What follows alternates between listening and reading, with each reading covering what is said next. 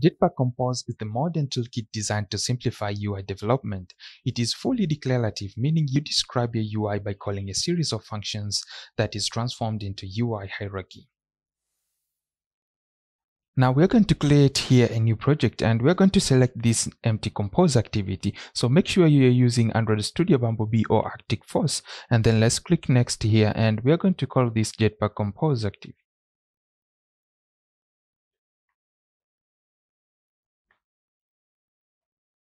And let's you have to select here the API 21 and let's click here finish and create our project. Android Studio has generated us some code here. As you can see, there are composable functions which are generated by Android Studio, which can be a little bit confusing. So we are going to write this step by step in order to understand them very well. So we are going to delete all of this one here, and we are going to delete everything inside here. So now, as you can see, we are having here a set content, and this is the Lambda function, which is different from what we used before, which is the set content view, which accepted the layout.xml file. So now we are going to use this set content. If you hover around here or press Control Q, and then it's going to bring out the documentation, and this composes the given composables into the given activity. So we can call here composable functions, and this one is going to render it into a UI hierarchy. So now we have to declare our first composable composable function and we are going to call this let's use the composable annotation. And let's write here. Now let's import this one and then we are going to call this a hello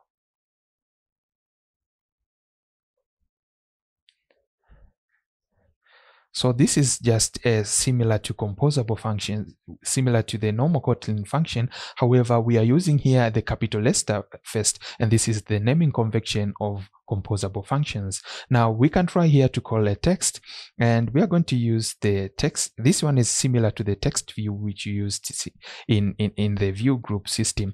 So we can provide here, for example, hello composable. Now, as you can see here, we are providing hello composable.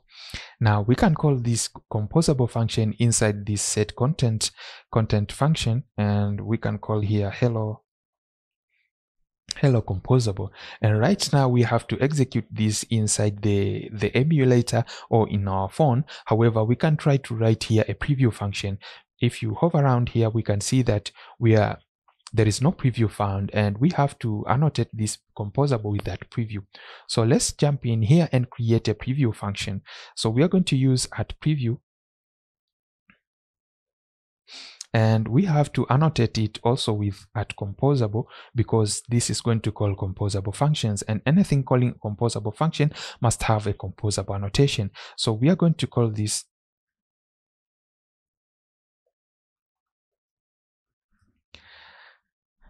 and then we can call here hello composable. And right now it's going to display here. So you can customize here to show background and you can set this equals to true.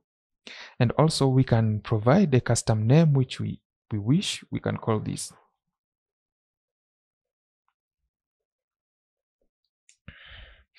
because you can have different uh, different views which you can use to preview your functions. So right now, if we go here and try to preview our functions, it's going to roll out.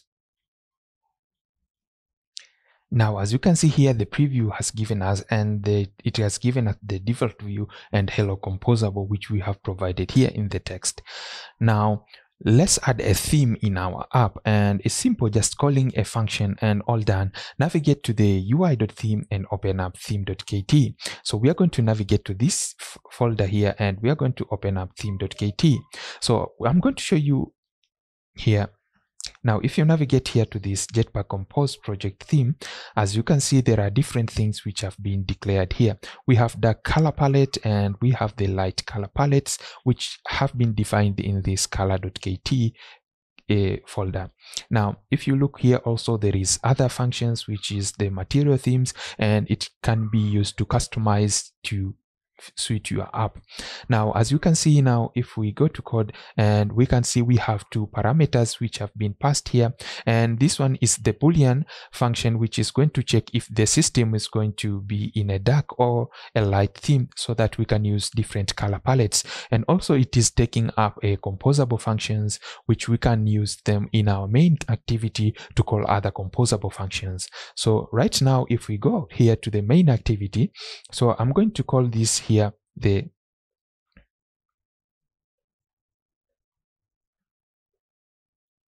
Jetpack Compose project theme. Inside here, now we can call the Hello Composable. So now I'm going to show you a good way later in the video on how to set up this project theme and you can reuse it in different activities so that you cannot customize it every time you want to create a new activity. So right now here we have provided the theme and it can be used in our app. Now let's change the background color of the text and we are going to use here a surface and let's define here a surface. And now we are going to provide the color here. And for example, we can take here to blue. Now we can use this color blue in order to provide the background color. And we are going to copy this text and paste it inside here. So now we are going to change the background color of this text here. So the component nested inside the surface will be drawn on top of the background color. So in case here we are using a blue so this will be drawn above the blue color. Now let's try here and rebuild our our preview and see it here live now the project has rendered here the preview function and as you can see here we have the hello composable and the background is blue. Now as you can see, our composable functions are not reusable. So let's tweak things around and make things easier to read and reuse them in another activity. As you have notes here, we have been writing this composable function outside of the main activity so that we can reuse them in different activities. So now if we navigate here to the code and we are going to try to create a, a certain way which we can reuse this this this code in other activities. So let's create here at composable and we are going to create a function called my app and inside here we have to use this this function inside here. Now it's still that not really useful because we are calling this hello composable and we don't want to call this one. So we have to provide here the, the, the function which we can use them to call inside here. And for this purpose we have to pass the the composable function. So we are going to create a higher order function here and this we are going to call the content and it's going to use the the composable its type is going to be composable and this composable is going to return unit and composable are emitting UI and they are not returning anything. So we are not returning anything, but however, they are emitting this UI. In this case, we have to return the unit function. Now, if we copy this now here and call the content and if we navigate here to set content we can call my app. And inside this now we are using a trailing lambda syntax here since this is the only only only argument inside this function. And inside now here we can call the composable functions. Now we can paste here inside our code and we can call the hello composable but right now we are applying this to only this text here. We can make the background color different from this here by calling the, the this surface inside the the the the, the change the the change decomposable function. Now let's call this here and we can paste inside here and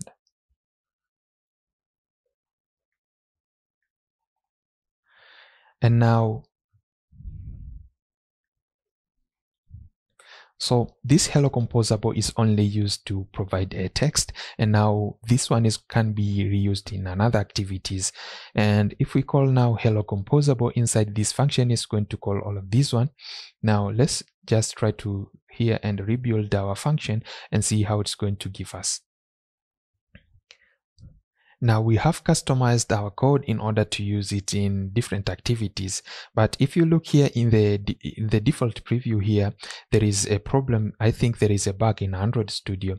So let's try here and run it in our uh, in our phone and see it how it's going to be displayed. Now running it on the phone, we are getting here the, the blue background and the text which is being rendered above the surface. Now let's leave it here. If you found this video helpful, please provide a like and don't forget to subscribe for more videos. See you in the next video. Thank you.